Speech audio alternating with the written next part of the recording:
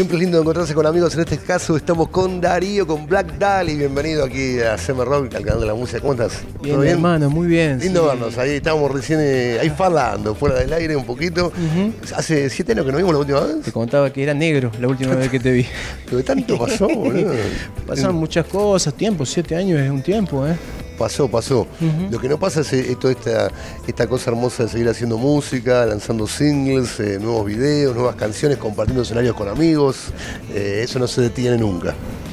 Y bueno, es, la razón de ser nuestro, ¿no?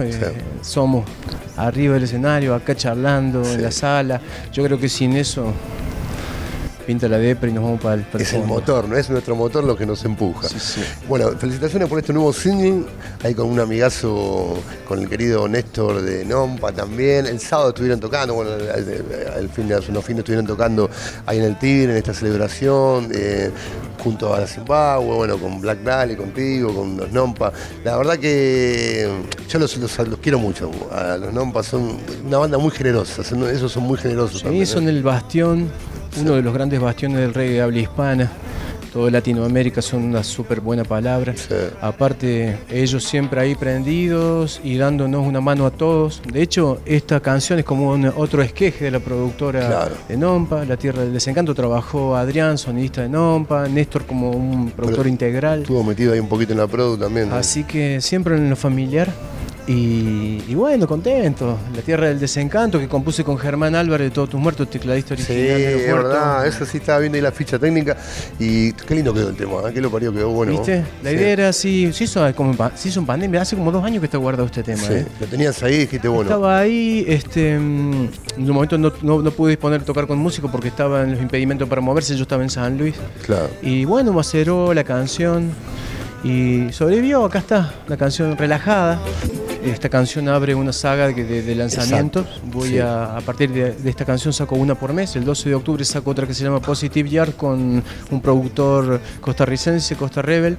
Em, estoy como, somos cuatro canciones como en un sonido noventoso. Sí, tiene como ese reggae ¿eh? noventoso. Sí. ¿no? Em, así que estas cuatro canciones van a ven por ahí. El 12 de octubre sale otra, Positive Yard. El 15 de noviembre sale otro que se llama Seguiremos. Después grabé otra con Panteón Rococó. La banda de México. Los Panteón, sí. Bien. es la, Está bueno. Me falta terminar el video. Y no, bueno, esta va a ser la primera parte, eh, como una suerte de un EP que del otro lado va a tener las canciones más canción, como se hacer, más orgánicas, más, más canción. Estaba con ganas de hacer esta música de los 80, ¿viste? No me quería quedar. 80-90. El reggae argentino es el revival del reggae de los 70, entonces ahora estamos en un revival de los 80-90. Luego a ver cómo en Jamaica ocurrió un reggae revival, es otra vuelta a. Eh, es, esto es una cuestión así, ¿viste? Decir, che, los pitucones, uh, se usan ahora, bueno, vamos con el revival. Claro. Este, es así, hermano, no, no inventamos nada. Por suerte, capa por capa los tratamos de ir recreando. No es nada que ya no hayamos escuchado. Pero bueno, ahí está el artista donde le pone su recurso retórico, pictórico, cada uno escribe como puede. Yo hago eso. Siempre sos un, sos un tipo inquieto, eso está bueno, ¿viste? Viajás, tenés proyectos afuera, en Latinoamérica, también muy querido, por, te, te juntás con otra gente. Sos como un buceador también de, del género, pero siempre estás buscando ahí una vueltita de ropa. Ahora una vueltita más sociológica, más amistosa, más de descubrir, ir viajando solo, descubriendo talentos, súper talentos que la verdad que cada vez me enriquezco más de, eso, una vivencia que quizás antes con banda grande no pude vivir, era tocar en un lugar tras otro, no sabía ni dónde tocaba. Este año fue largo, empecé todo el verano en la costa, y después hice un mes de gira por Costa Rica, eh, abril, todo mayo en México, eh, vine acá también shows y nada, conociendo un montón de otros músicos, cooperando, coproduciendo con otra gente, eh, también buceando la, la cultura reggae, la cultura rastafari, el movimiento panafricanista, todas esas cosas que creo que fueron mis principales intereses. Después me fui este, música cantante de reggae, pero estoy como dándome. También hice una película hace un, poco, un poquito tiempo. Eso quiero que me cuente porque no, no, estoy muy empapado al respecto, pero quiero que me, cuente, por supuesto, a mí a la gente cómo es un poco lo de la peli, también por cómo, cómo fue un poco esa, esa gana también de mostrar algo. Fue un desafío de un amigo mío, Luciano Junco, que me dice, él cineasta cordobés, dice, che, sé que no hay ni una peli de reggae en el Inca, loco, en Argentina, de habla hispana. Sí. O sea, de rock desde Palito Palito Ortega antes en adelante, hay 200 millones. Es cierto, hay. Y me dice, tenemos que hacer una película regional. Y yo, echa las bolas, dale, dale. jodiendo una Bien mal me hicimos la primera. Vamos a hacer la primera. Y bueno, qué sé yo, hicimos como un docudrama de lo que es la salida mía de Cameleva a esto que no sabíamos que iba a pasar. Sí. En, cuanto a buscar músicos, ven desde Jamaica hasta Tierra del Fuego intentando encontrar una identidad nueva. Y viajaste para todo, fuiste a Jamaica, todo, todo. Mucho Latinoamérica. Y entonces es como un docudrama, pero que está entrelazado de piezas que compusimos por el Verbo de Fuego.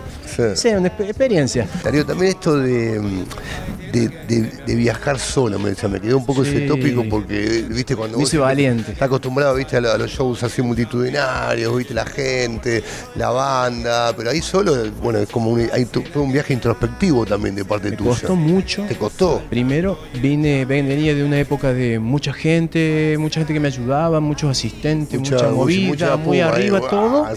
Y nada, caí al piso y a solito con el pendrive, un DJ residente. Pero estuvo bueno para demostrar a los otros colegas que uno se la banca en la, tierra, en yuyo ahí, viste, también, porque viste, dice, a ver este cine, bueno, y ahí eh, no me impuse, prevalecí, pude transmitir. Sin joder a nadie. Sin joder a nadie, viajando, sin nada, un micrófono encintado, dame. Eh, dame dos piedras, percusión, eh, una banda hermosa, trabajamos. Hasta, mira, terminé tocando con la Sinfónica de México en el Teatro Metropolitan una canción de tanta loquera como en otro con un, esto encintado. Pasaron cosas tan lindas, tan locas, tan que me hice valiente, me hice valiente. Me encontré conmigo, me llevo bien conmigo. Hace poco volví a tocar con banda y mm, estaba bien, pero me gusta viajar.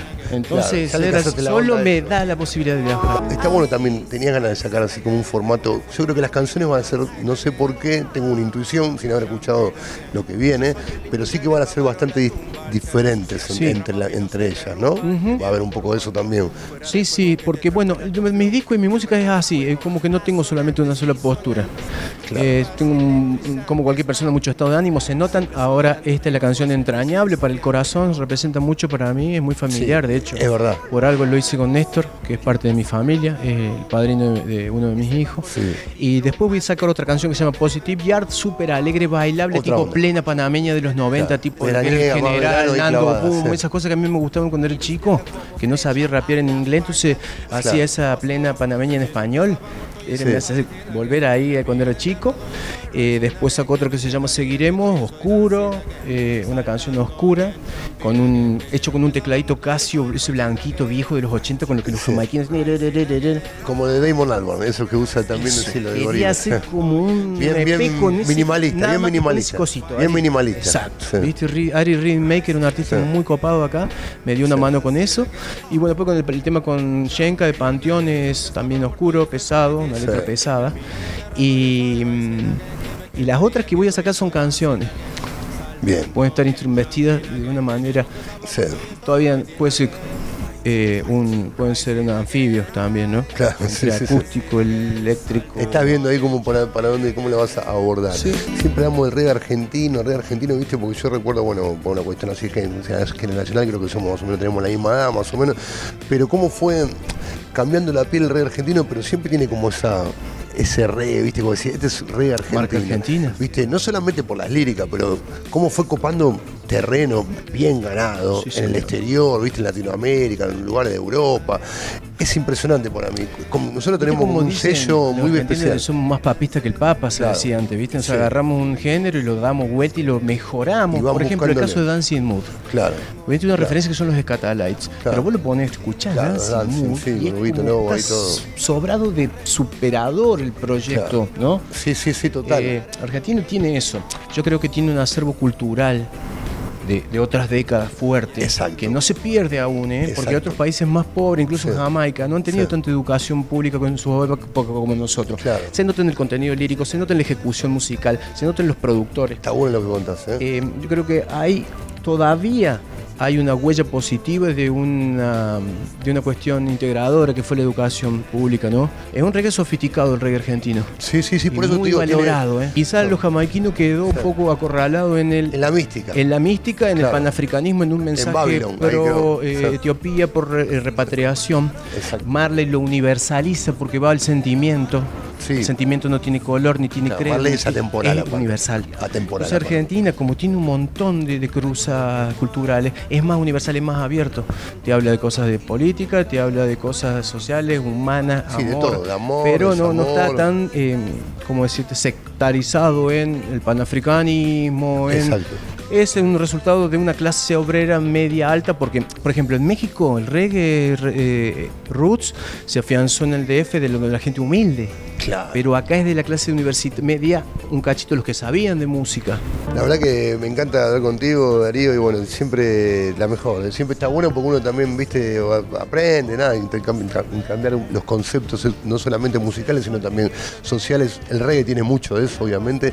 Y bueno, vamos a invitar a toda la gente a que escuche tu nuevo single y eh, por supuesto eh, ya lo pueden escuchar en la plataforma, pero también, y a verlo, no solamente escuchar y mirar, y también, bueno, para contarles un poco de todo lo que viene y siempre es un placer de compartir contigo. Hermano, buena cava, le pasó por acá cada vez que hay un lanzamiento. Dale, buenísimo, buenísimo. Bueno, todo lo mejor, Black Dali eh, pasó por aquí por el canal de la música por CM Rock y ya pueden ir a escuchar a las plataformas, lo nuevo y se viene un, también nuevos singles coming soon dentro de poquito. uno por mes. Ahí va, ahí va, gracias.